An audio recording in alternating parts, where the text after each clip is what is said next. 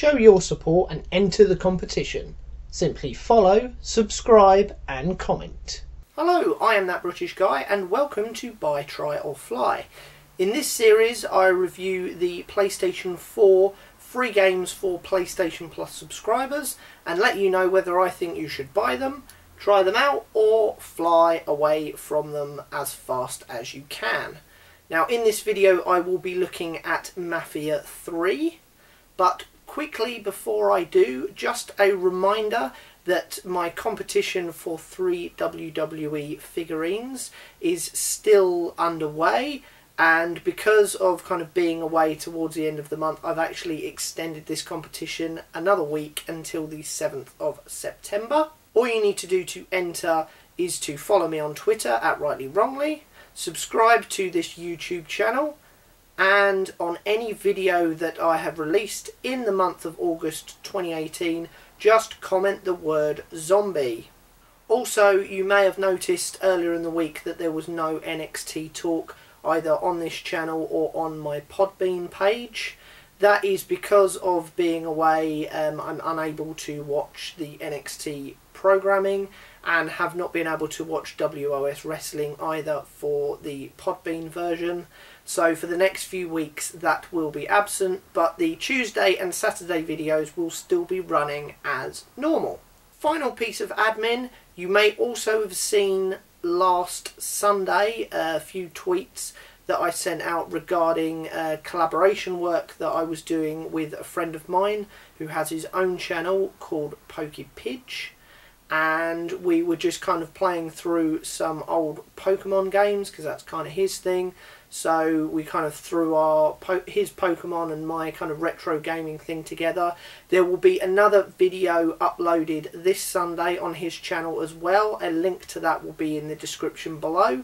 And the Sunday following that and the one after will be two videos coming out on my channel here. Um, and they are the final two videos of a small four-part series we will hopefully be doing another mini-series in the not too distant future, again splitting those videos across both of our channels. Right, admin out the way, let's look at Mafia 3.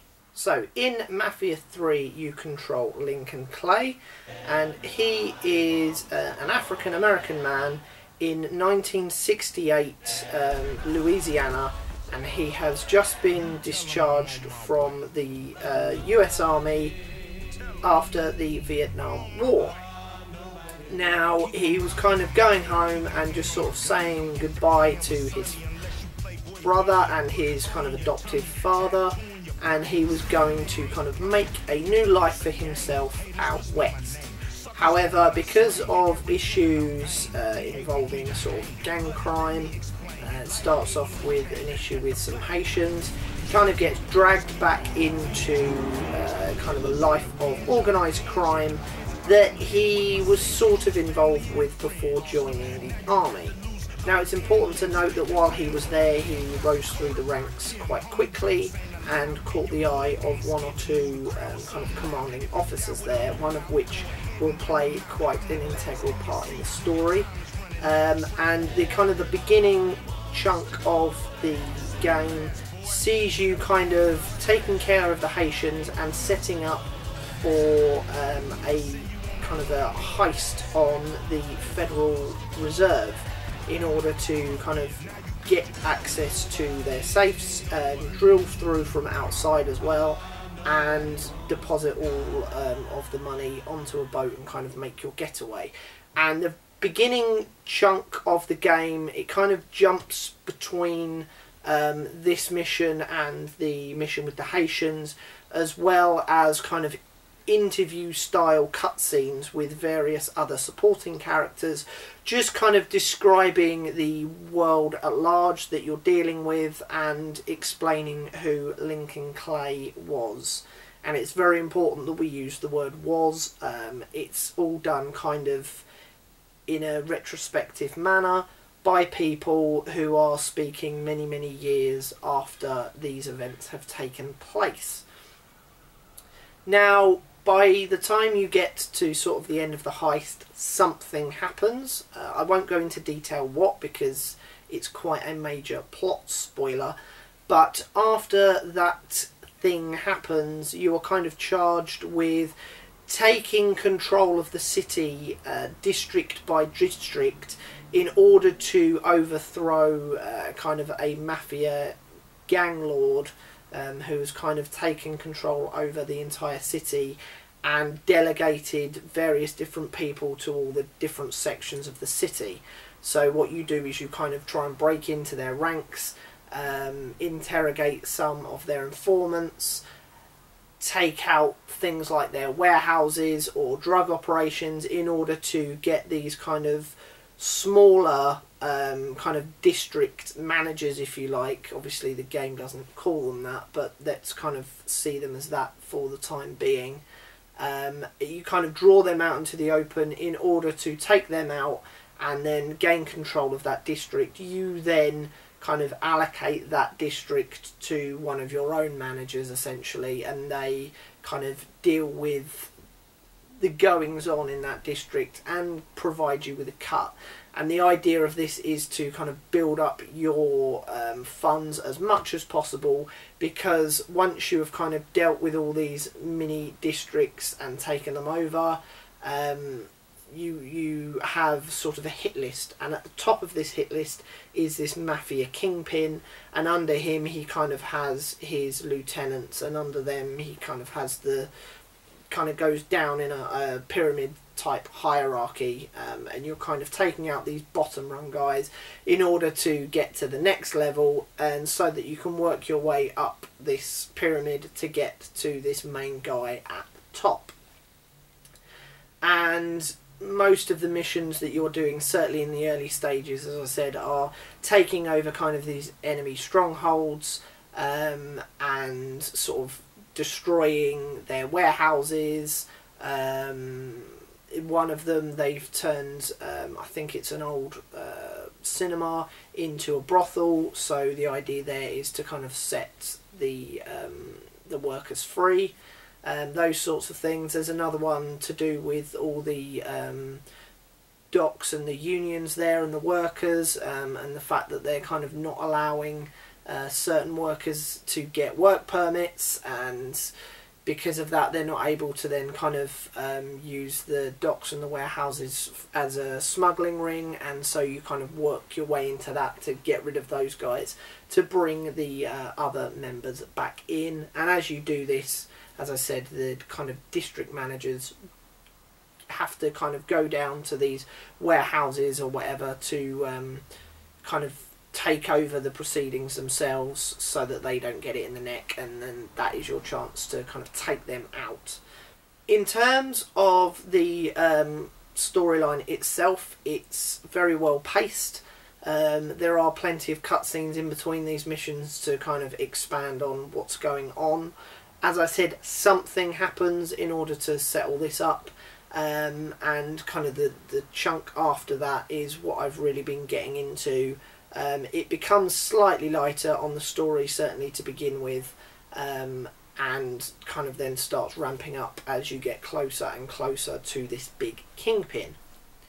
Now, in terms of the actual gameplay itself, it's very akin to uh, Grand Theft Auto, where you're sort of walking around a sandbox open world type area.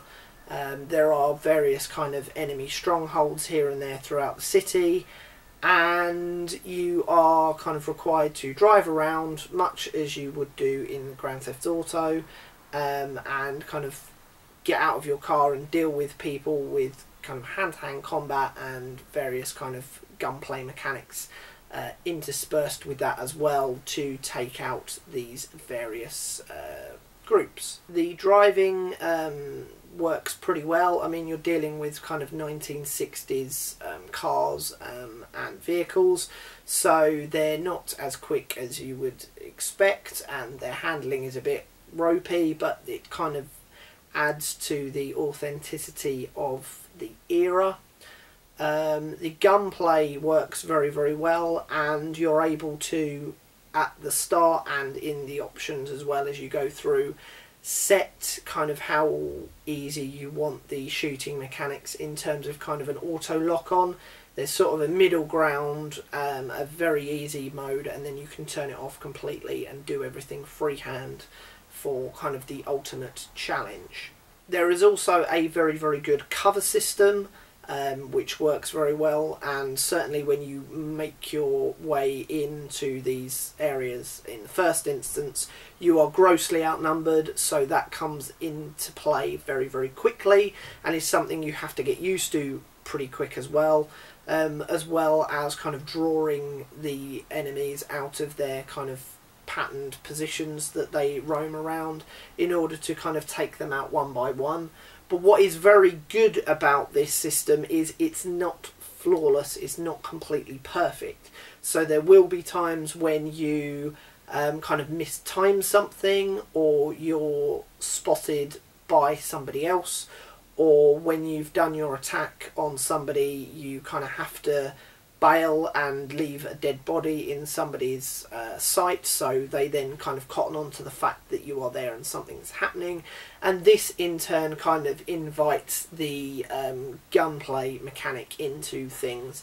And what I would suggest is you do kind of take the stealthiest approach um, that you can in terms of your own ability. But when that inevitably does kind of mess up, it is worth kind of trying to kind of stay with the mission and sort things out with the guns and, and various equipment that you have been given, just so that you get a balance of both sides of things. Certainly wouldn't suggest going in all guns blazing, although that is a perfectly viable option. And if you are particularly well versed with stealth, um, the mechanics are good enough in the game that you possibly could get through some of these areas completely um, 100% sort of unnoticed um, if you are kind of that able and that way inclined. Now, as you go through and kind of delegate these different areas to these kind of managers that you have, you unlock um, kind of different abilities as you go through. From being able to kind of call um, weapons drops to wherever you are so that you can purchase new guns and ammo, kind of like that to being able to pay for a kind of a three man hit squad to come in and join you and even up the odds. And as you go through, these kind of develop um, more and more throughout the game. You are then able to um, boost your stats so that you have kind of more um, health bars and you have um, more ammo, things like that. Speaking of health bars, you do only start off with two, and although your health does regenerate, um, if you go beyond kind of the halfway point of that, it only regenerates halfway. So you are then forced to use medical kits in order to boost that up to maximum health again. Um, it's very quick going down and a lot slower going up. So you could kind of find yourself cornered and lose your health very very quickly if you do not have any medipacks and you're not kind of paying attention to healing yourself with them as and when you need to. And because your health doesn't regenerate to 100% very very quickly um, and easily you kind of don't feel completely invincible which is very nice. Now the overall mechanics of the game are very very good. Uh, this is a PlayStation 4 game so it plays very, very nicely, very smoothly. The one thing I will say is the graphics. To be honest, it looks because it was in development for a very, very long time, and it looks like um, a PlayStation 3 game that has kind of been upscaled to PlayStation 4. And at first, I assumed it had initially been released on PlayStation 3 kind of been polished a bit and then re-released on PlayStation 4, but that isn't the case. It did originally come out on the PlayStation 4. However, I think that when they started development of this, they probably intended for it to be a PlayStation 3 game and kind of managed to upscale things ever so slightly, but it definitely doesn't feel like um, a normal PlayStation 4 game in terms of the aesthetics of it. Everything kind of has a weird shine to it um, and the graphics are not terrible, but you can tell that there are a lot of games out there that um, are probably older than this actually that do look better, but I mean graphics aren't kind of my main priority with games, so I don't really mind too much. And the game itself comes with a fully licensed sort of mid to late 60s soundtrack on the various radio stations, so I'm more won over by that to be honest. That is a brilliant era of music for me personally. It's sort of what I grew up listening to, thanks to having slightly older parents than probably most of my school friends did. So a lot of that I recognise and enjoy kind of driving around listening to that. Uh, that's kind of more important to me than what a game looks like. So buy, try or fly then. Now this game is listed on PlayStation Store currently for $34.99 and because of that reason I'm going to have to say try. There is no way you should be purchasing this from the PlayStation Store for that amount of money. That is absolutely ridiculous. However, there is a free demo on there, so it's definitely worth, even if you're listening to this after this um, game kind of goes past its free status for PlayStation Plus subscribers. It's worth having a go on the free demo and seeing what you think of it. But if open world sandbox games are kind of your thing, um, then it's definitely worth at least trying this game out. However, what I will say is if you are able to pick this up for sort of £20 or under, it is definitely then worth a purchase. So if you can find it in a second-hand store or on eBay, or if they happen to do a deal on PlayStation Store and reduce it down under the £20 mark, then I would strongly suggest purchasing this game, especially if things like Grand Theft Auto are your kind of game and you enjoy this kind of semi-open world sandbox game with um, kind of gunplay mechanics um, and a decent engaging story. I've looked at various reviews of this and they have said that the story is the strongest point of the game, which is brilliant for me because that is kind of my thing. That's what I'm more bothered about. And there were a few people that said that the mechanics were a bit clunky. I don't really see where they're coming from in that unless by now that's all been patched out. The one kind of air of caution I will put on this is the missions, certainly in terms of taking over all these different districts, can become a little bit samey, but they're kind of smaller cogs in what becomes a bigger machine. So if you can kind of get yourself past that, then it shouldn't really be a problem. But other than that, I would highly suggest buying this game for under £20 or if you're still able to get a free download make sure that you do do that before the games change in September. So there we go, they were my thoughts on Mafia 3. Please let me know what you think of the game if you've been able to play it this month in the comments below. I will be back next month with September's offerings of free PlayStation Plus games. But until then, I've been that British guy and I will see you very soon. Goodbye.